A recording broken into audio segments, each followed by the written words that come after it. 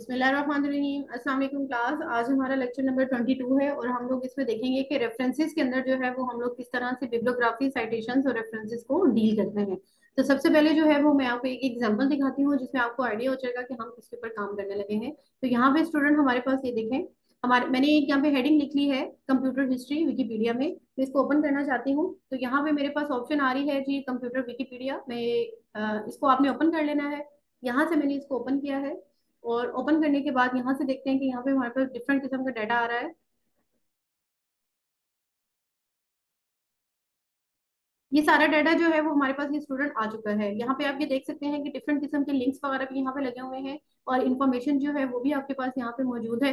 ये सारी इन्फॉर्मेशन जितना भी कंटेंट उसके अंदर है, यहाँ पे आप किसी भी हेडिंग पे क्लिक करेंगे तो आप वही डाटा रीड कर सकते हैं।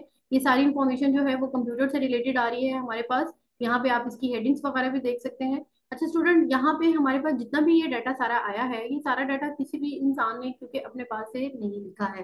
तो इसने कहीं ना कहीं से ये सारा डाटा जो है वो उठाया है और किसी ना किसी बुक से, किसी जर्नल से, किसी ना किसी आर्टिकल से, किसी न्यूज़पेपर से, किसी चैनल से ये सारी इन्फॉर्मेशन जो है वो उसने ली है और लेने के बाद जो है वो यहाँ पे इस तरह से लिखना शुरू किया है। तो स्टूडेंट यहाँ पे हम लोगों ने ये चीज़ मैंशन करनी है कि हमने ये डाटा कहाँ कहाँ से जो है वो रिसीव किया है, किस चीज़ को हमने स्टडी किया है, उनकी सारी इन्फॉर्मेशन हम लोगों ने यहाँ पे मैंशन करनी होती है। तो लास्ट में यहाँ पे मैं आपको दिखाती हूँ कि यहाँ पे हमारे पास एक ऑप्शन आ रहा होगा जिसमें हमने ये रेफरेंसेज मेंशन किए हैं। रेफरेंसेस का मतलब ये होता है कि हमने कहाँ कहाँ से ये डाटा जो है वो वसूल किया है, किस किस बुक से जो डाटा है वो हम लोगों ने यहाँ पे कोट किया है, बेशक उसको अपनी लैंग्वेज में ही किया है या एज इट इज़ किया है तो यहाँ पे ये सारे रेफरेंसेस जो है वो हम लोग यहाँ पे एंड पे बनाते हैं। तो यहाँ पे आप ये देखें, ये रेफरेंसेज के नाम से आपके पास एक ऑप्शन आ चुका है, ये रेफरेंसेज आ रहे हैं आपके पास तो यहाँ पे हमने ये मेंशन किया हुआ है कि हमने कौन कौन सी बुक से ये डाटा लिया है और उस बुक की सारी इन्फॉर्मेशन दी है, उस बुक का नेम क्या है, उस बुक का राइटर क्या है, उस बुक को कब लिखा गया है, उसके अंदर कितने टोटल पेजेस हैं,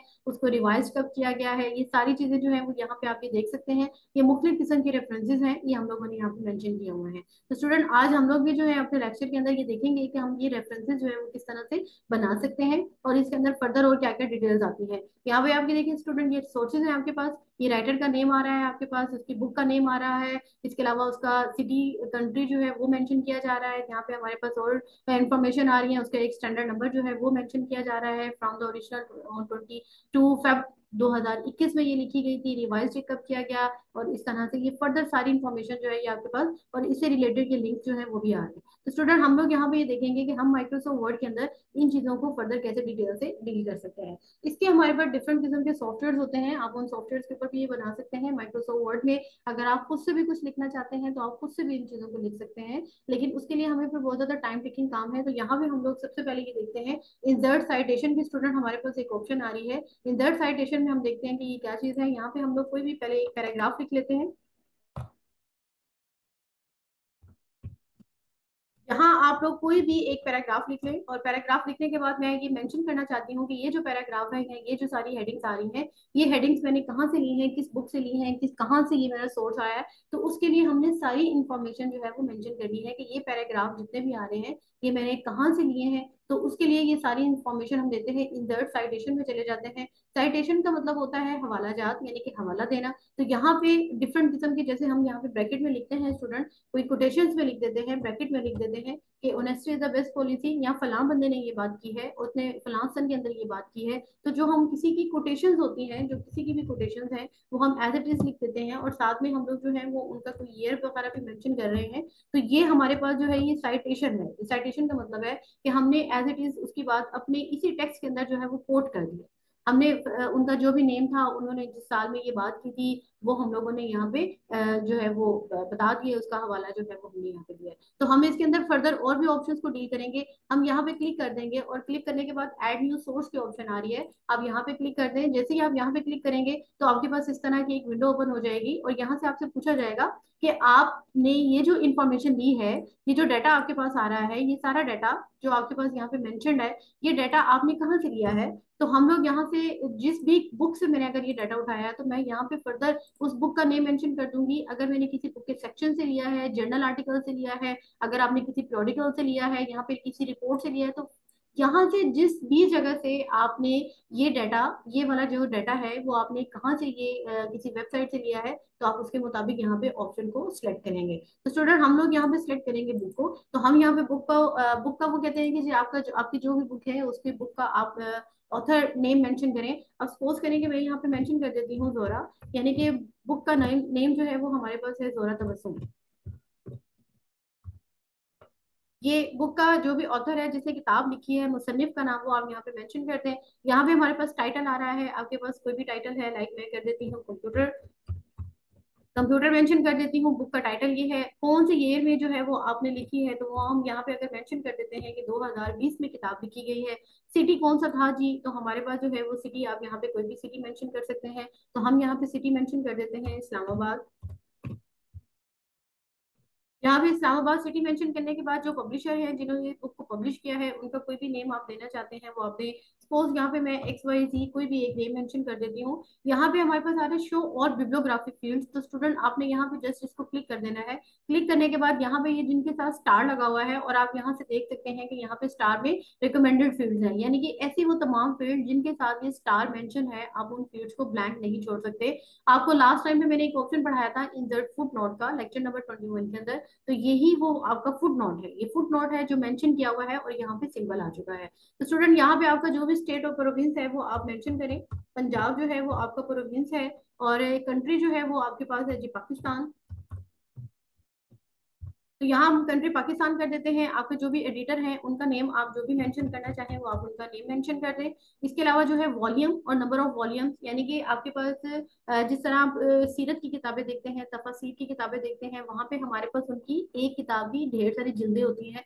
अगर हम किसी अहदीस की किताब की बात करें तो वहाँ पे अगर सही मुस्लिम है, सही बुखारी शरीफ है तो वहाँ पे उनकी एक जिल्द नहीं होती है। उस एक किताब की हमारे पास जो है, वो काफ़ी ज़्यादा जिल्दें हैं। तो वो नंबर ऑफ़ वॉल्यूम्स आपके पास जो कहलाएँगे, लेकिन उसमें नंबर ऑफ़ वॉल्यूम्स में से यानी कि उन तमाम छह जिल्दें हैं अगर आपके पास एक किताब की तो उसमें से आपने कौन से वॉल्यूम से डाटा उठाया तो यहाँ पे आप मेंशन कर सकते हैं, मिसाल के तौर पे मैं कहती हूँ कि मेरी जो बुक है, उसके ऑलरेडी जो है मेरे पास थ्री वॉल्यूम्स हैं, यानी कि टोटल तीन जिल्दें हैं उसकी तो मैं यहाँ पे जिल्द अव्वल, जिल्द दोम, जिल्द सोम और volume one volume two volume three भी कर सकते हैं। तो यहाँ पे मैं कहती हूँ कि ये वाला जो डाटा था, हम लोगों ने जो ज़रूरत तबसम की किताब कंप्यूटर है, वहाँ से हम लोगों ने जिल्द नंबर टू यानी कि वॉल्यूम टू से हम लोगों ने जो डाटा है हमारे पास हमने वहाँ से इसको पिक किया है। वो डाटा हम लोगों ने यहाँ पे कोड किया है। तो स्टूडेंट यहाँ पे फर्दर ट्रांसलेटर आ रहा है। आपके पास कोई भी ट्रांसलेटर का नेम आप मेंशन कर सकते हैं कि कौन किसने इसको ट्रांसलेट किया जिस तरह आपके पास डिफरेंट बुक्स होती हैं। आप उनको अरबिक में इंग्लिश में फारसी में पश्तो में किसी भी लैंग्वेज के अंदर जो है उनको ट्रांसलेट कर देते हैं। इसका कोई शॉर्ट टाइटल आप, आपके पास होता है। समटाइम ऐसा होता है बुक्स होती हैं और उनका शॉर्ट टाइटल नेम जो है वो भी मेंशन होता है। तो आप यहाँ पे अगर कोई नाम मैंशन है अगर आपके पास कोई नेम है तो आप उसको मेंशन कर सकते हैं लाइक यहाँ पे मैं सीएम कर देती हूँ। और इसके अलावा स्टैंडर्ड बुक नंबर है आपके पास। हर किताब का अगर आप उसको रजिस्टर करवाते हैं इनके स्पेसिफिक इंस्टीट्यूट से ऑर्गेनाइजेशन से, अदारे से तो वो आपको एक नंबर इशू करते हैं। आपका जो भी बुक का नंबर हो, वो आप लोग यहाँ पे मेंशन कर सकते हैं। जिस बुक से आपने डाटा लिया है, जिसकी हम बात कर रहे हैं, उसका एक स्टैंडर्ड नंबर है। उसके अंदर जो है टोटल नंबर ऑफ़ पेजेस कितने हैं? आपकी बुक के अंदर कितने टोटल नंबर ऑफ़ पेजेस हैं? मैं कहती हूँ फोर फिफ्टी सिक्स है। तो वो आप यहाँ पे मेंशन कर लें। इसके अलावा यहाँ पे आप एडिशन जो है वो जिस सल, सन में एडिशन हुआ है, आप उसके अंदर मजीद और एडिट करना चाह रहे हैं तो किस सन में किया है, वो आप मेंशन करें। आपके पास कोई कमेंट्स है, उसका मीडियम है तो आप वो यहाँ पे मेंशन करें। इसके अलावा यहाँ पे आपके पास स्टूडेंट डिफरेंट किस्म की और भी इंफॉर्मेशन आ रही है, आप उनको भी मैंशन कर सकते हैं। यहाँ आपके पास यू आ रहा है यूनिवर्सल रिसोर्स लोकेटर अगर यहाँ पे इंटरनेट के ऊपर आपके पास उसका कोई लिंक है, आप वेबसाइट पे जाएँ और उसका लिंक को कॉपी करें और कॉपी करने के बाद भी आप यहाँ पे मैंशन कर सकते हैं। तो स्टूडेंट यहाँ पे हम लोग जो है, इन तमाम फील्ड्स को अगर हमने फिल कर लिया है और फिल करने के बाद यहाँ से आप सिंपल इसको ओके कर देते हैं। और ओके करने के बाद हम लोग यहाँ पे जो है ये देखते हैं कि तबस्सुम और ट्वेंटी टू, ट्वेंटी ट्वेंटी। अब यहाँ पे आप देख सकते हैं कि जो फ़र्स्ट नेम था वो था जोरा लेकिन सेकंड नेम है तबस्सुम, लेकिन उन्होंने सेकंड नेम जो है वो यहाँ पे मेंशन किया। और साथ में जिस सन के अंदर की किताब लिखी गई थी, वो ईयर जो है वो यहाँ पे मेंशन कर दिया गया।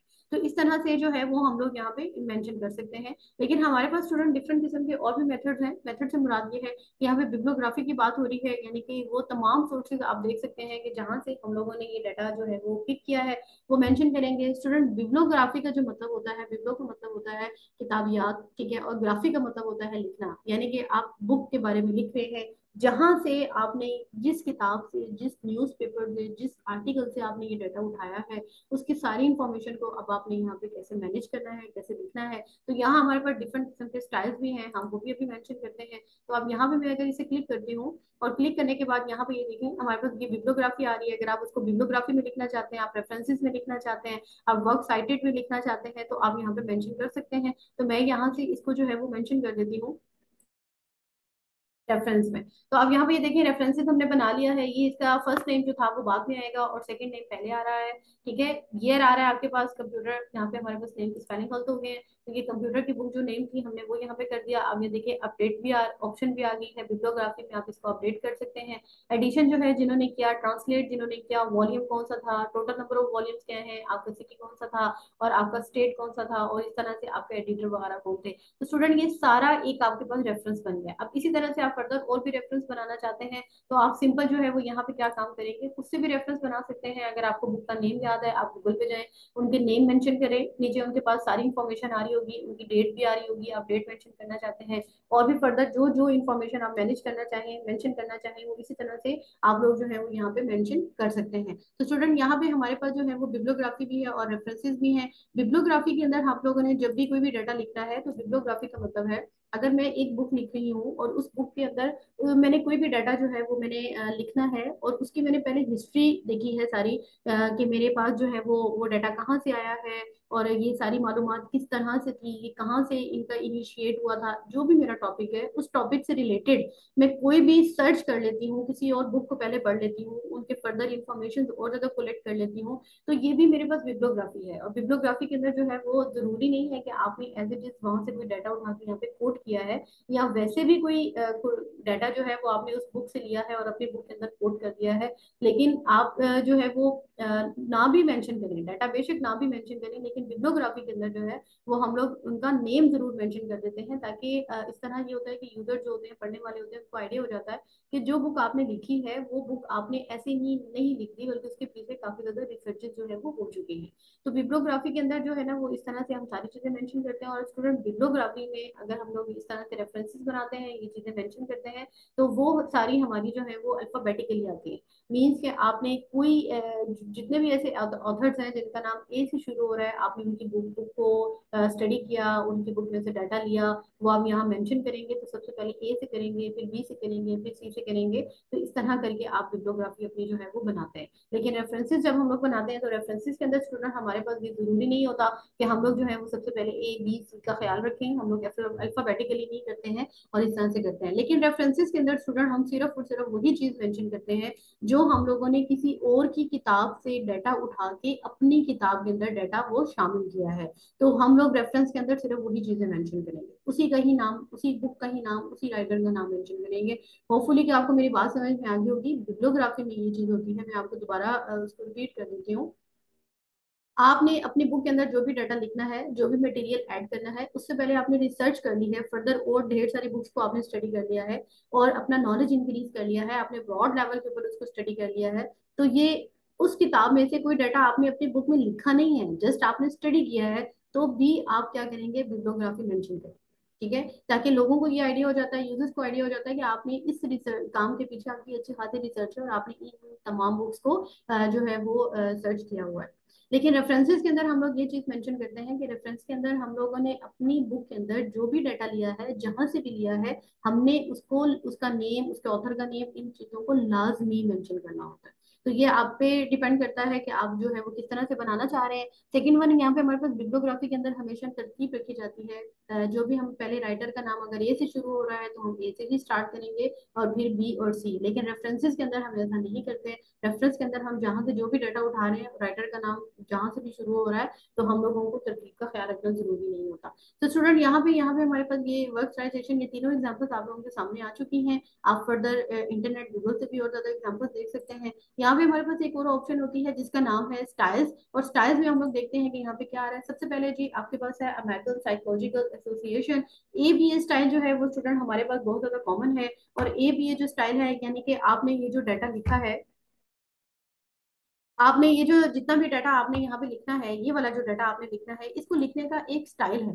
इसको लिखने का एक तरीका कार है। ये नहीं हो सकता कि कोई इंसान उठे और वो पहले ऑथर का नाम दे दे, फिर बुक का नाम दे दे, फिर एडिशन दे दे, फिर डेट दे दे और फिर किसी और का दिल करे तो वो पहले ट्रांसलेटर का नाम दे दे और एडिटर का नाम दे दे। नहीं, यहाँ पे हमारे पास कुछ पैरामीटर्स हैं असूल हैं, हमारे पास कुछ रूल्स एंड रेगुलेशन हैं कि हमने ये जो मेंशन करना है डाटा, ये किस तरह से मेंशन करना है? यानी कि पहले क्या नाम लिखा जाएगा और उसके बाद कौन सी हेडिंग आएगी, उसके बाद कौन सी हेडिंग आएगी?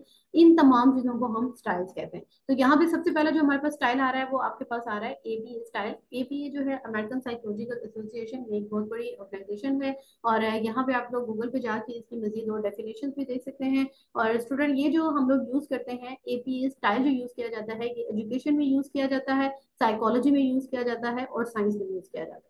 तो इसके अलावा ये जो मैंने आपको बताया है, ये हमारे पास रेफरेंस के स्टाइल हैं, ये रेफरेंस लिखने के लिए होता है। आप ये देखेंगे सिक्स एडिशन आ रहा है। शिकागो का हमारे पास आ रहा है जी सिक्सटीन एडिशन आ रहा है। तो शिकागो जो है, हमारे पास लिखा जाता है शिकागो और ट्राइबन जो है, मैं आपको इकट्ठा बता देती हूँ, ये सिक्स एडिशन है। तो ये दोनों जो हमारे पास फॉर्मेट्स होते हैं, ये यूज़ किए जाते हैं जनरली बिज़नेस और फाइन आर्ट्स के लिए। ठीक है, जब आप कोई बिज़नेस के लिए कोई रेफरेंसेस ले रहे हैं या फाइन आर्ट्स का कोई थीसिस लिख रहे हैं, कोई बुक लिख रहे हैं तो उसके लिए हम लोग जो है वो ये दो स्टाइल जो होते हैं, उनको चूज़ करते हैं। इसके अलावा नेक्स्ट आप लोगों के पास आ रहा है जी एम एल ए स्टाइल और M L A stand for होता है मॉडर्न लैंग्वेज एसोसिएशन और ये जो स्टाइल होता है, ये स्टाइल यूज़ किया जाता है आपके पास। ह्यूमैनिटीज के लिए। अगर आप ह्यूमैनिटीज का कोई टॉपिक है, आपका कोई बुक आप उसके ऊपर लिख रहे हैं, कोई आर्टिकल लिख रहे हैं, उसमें आपने रेफरेंसेस मेंशन करने हैं तो यहाँ पे इस तरह से जो है वो मॉडर्न लैंग्वेज एसोसिएशन जो है, आप इसको एम एल ए को यूज़ करेंगे। तो ये जो तीन चार स्टाइल मैंने आपको बताए हैं ए पी ए शिकागो और यहाँ पे एम एल ए और यहाँ पे ये जो ट्राइबन है, इसको हम रेफरेंसेज लिखने के लिए यूज़ करते हैं। तो आप जो भी यहाँ से सिलेक्ट करेंगे, वही आपके पास सामने आ जाएगा और उसके अकॉर्डिंगली अब यहाँ पे देख सकते हैं कि थोड़ी बहुत चेंजिंग हो चुकी है, आप इसको सेलेक्ट कर सकते हैं और यहाँ पे क्लिक करें। क्लिक करने के बाद यहाँ पे जो भी आपके पास स्टाइल आ रहा है, उस पर क्लिक करें। अब यहाँ पे ये देखेंगे हमारे पास डिग्री आ चुकी है। तो स्टूडेंट यहाँ पे ये हमारे पास डिफरेंट किस्म की मुख्य ऑप्शन हैं। आप उनको बना सकते हैं, आप खुद से भी लिखना चाहें, आप लिख सकते हैं। लेकिन आपको लिखने का तरीका पता होना चाहिए, ये जो कोमा लगाना है, ये फुल स्टॉप लगाना है, और यहाँ पे पहले क्या नाम आना है, फिर क्या उसके बाद कौन सी हेडिंग आनी है, इन तमाम बातों का ख्याल रखना बहुत ज़रूरी है। रेफरेंसेस के अंदर हम लोग जो है वो डबल स्पेस देते हैं। टू टाइम आपने स्पेस एंटर करनी होती है, इसके अलावा टाइम में रोमन में लिखते हैं और इनका फ़ोन साइज़ जो है वो आपने ट्वेल्व करना हो।